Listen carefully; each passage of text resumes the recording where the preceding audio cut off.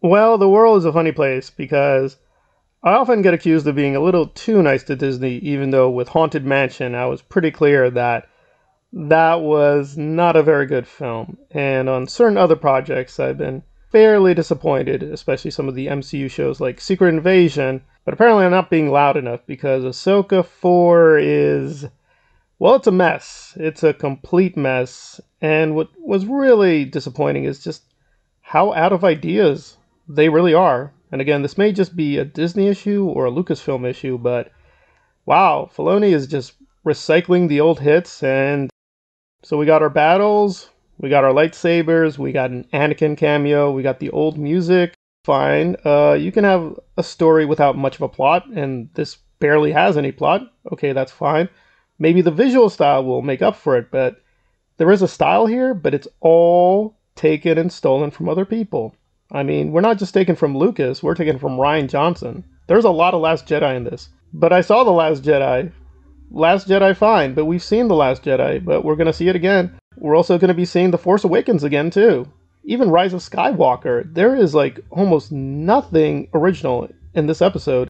And that was true of the first three episodes, but those actually felt tasteful. Like the way the first two episodes were paying homage to The Phantom Menace and Attack the Clones, that felt genuine, and even the episodes being very long and imitating the pacing of the prequels was very cute. But here it just feels like, okay, we've tried to be artistic the first couple episodes, now we're going to just cash it out.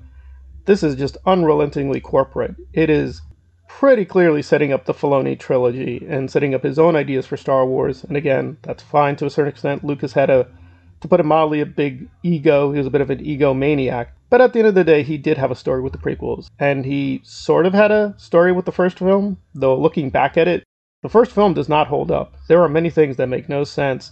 Even things I would give him points for are pretty weak. Nevertheless, he did have a vision. It was a stolen vision. It was stolen from Dune, stolen from Marvel Comics, stolen from so many things, but it was a vision.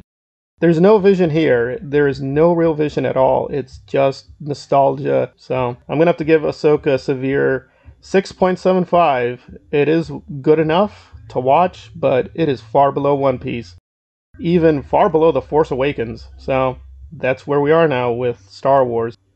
It's a little disappointing, but not, I think, unexpected from Filoni. But I was hoping that he was going to be corporate towards the end of the season, but apparently, no, we're going to be corporate early in the season. However, I'll give him one good big point. He did not steal that much from Dune itself. So that's actually very refreshing because way too much of Star Wars until lately just mercilessly takes from Dune.